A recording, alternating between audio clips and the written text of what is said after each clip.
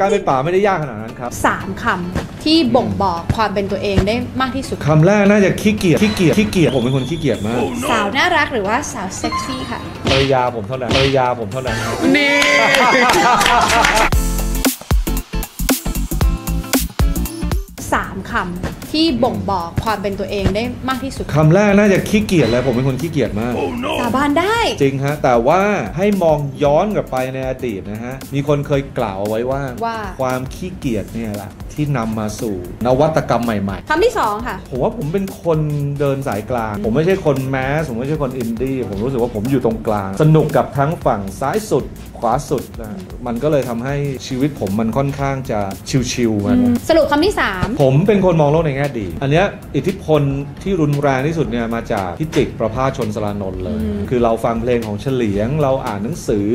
ของพิจิกเนี่ยเราดูรายการซูโม่สำอาง ซึ่งก็พิจิกก็มีส่วนเป็นผู้ก่อตั้งด้วยเนี่ยมันคือปลูกฝังแนวคิดที่มองทุกอย่างรอบๆตัวเนี่ยหาข้อดีให้เจอได้เสมอในบรรยากาศในเรื่องราวที่มันร้ายที่สุดแย่ที่สุดอะมันก็จะมีข้อดีอยู่ในนั้นมันมีมุมที่ดีอยู่ในนั้นเสมอ ที่มาของคำว่า ป๋าโอ้โหเป็ด การเป็นป่าไม่ได้ยากขนาดนั้น ครับผมเป็นคนชอบกินยาคูนะฮะตอนกลางวันก็จะมีสาวยาคูมาขายที่ออฟฟิศค่ะแต่ด้วยความที่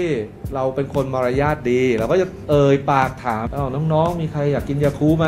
สาวๆทั้งหลายก็จะไม่มีมารยาทเหมือนผมฮะเมื่อผมถามไปทุกคนก็กินค่ะ เราก็เลยต้องซื้อยาคูเลี้ยงเขาพอวันที่ 3 สาวยาคูมาอีก ผมยังไม่ทันได้เอ่ยปากเลยนะฮะสาวๆในออฟฟิศก็บอกอ้าววันนี้ปาเต้จะเลี้ยงยาคูอีกไหมนั่นแหละฮะคือครั้งแรกที่มีคนเรียกผมว่าปาเต้ซึ่งเกิดจากการที่ผมเลี้ยงยาคูลท์สาวๆในออฟฟิศมาแค่ 2 วัน YouTube หรือว่าฟังวิทยุอ่าตอนนี้ TikTok TikTok YouTube ลุ้นลุ้นลุ้นนะคะ อยากตอบ Spotify ไม่มี choice เออะอชอบดูภาพยนตร์หรือดูซีรีส์โอ้โหยหนึ่งตอนตอนนี้ซีรีส์ฮะอ่าซีรีส์สาวน่ารักหรือว่าสาวเซ็กซี่ค่ะ ภรรยาผมเท่านั้นฮะนี่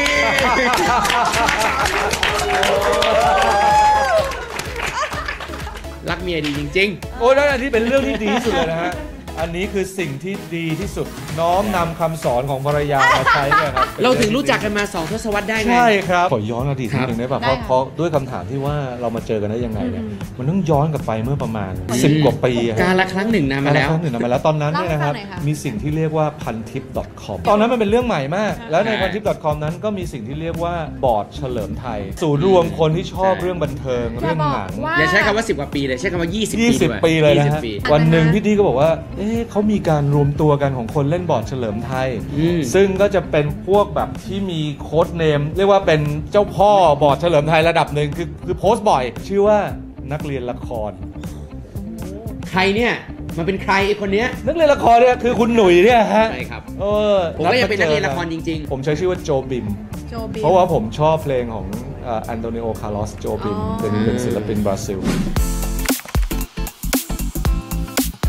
มนุษย์ยังเหนือกว่า AI ยังไง ในมมุมนุษย์นี้เหนือกว่า AI ตรงไหนทราบไหมครับ ตรงที่มนุษย์โง่กว่า AI อันนี้ไม่ได้พูดเล่นนะอืมเพราะว่า AI มันจะเก่งไปเรื่อยจนมันฉลาดกว่าเรา จนในที่สุดแล้วมันจะไม่ผิดพลาดเลยอืมมันจะเป๊ะไปหมด แต่ผมไม่เคยเชื่อเลยว่า ความเป๊ะมันคือเรื่องที่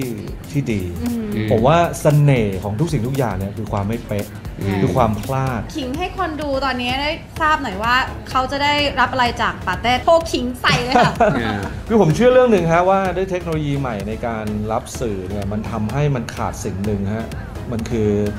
หน้าที่แบบที่ดีเจเคยทำแต่ก่อนนะใช่ คือทุกวันนี้คุณอาจจะเข้าไปในไม่ว่าจะ streaming platform ไหนก็ได้ แล้วคุณจะรู้สึกว่าโอ้โหฟังอะไรก็ได้และเมื่อไหร่ก็ได้ซึ่งนั่นเป็นเรื่องดี อืมแต่ข้อเสียก็คือว่าบางครั้งการมีคนบอกคุณว่าเฮ้ยตอนเนี้ยไม่ดีคุณควรจะฟังเรื่องนี้ คุณควรจะดูเรื่องนี้และ เรื่องเนี้ยมันเจ๋งอย่างไรไอ้หน้าที่เนี้ยที่ผมรู้สึกว่ามันมันค่อยๆหายหายๆไปอะเรียกว่าเป็นอาชีพเก่าผมเลยผมอืม ผมสนุกมากกับการทำสิ่งนี้แล้วผม ผมอยากกลับมาทำมันอีกแล้วผมมองว่ามันสามารถอยู่ได้กับเทคโนโลยีสมัยใหม่ มันยังเป็นอย่างนั้นได้อยู่ อืม แค่มันเพิ่มพ่อครัวมาอีกคนหนึ่งที่ช่วยปรุงรสหรือช่วยบอกคุณว่าเวลาทานสิ่งเนี้ยมันต้องเริ่มจากสิ่งนี้ก่อนนะแล้วตามด้วยสิ่งนี้แล้วมันจะอร่อยขึ้นอ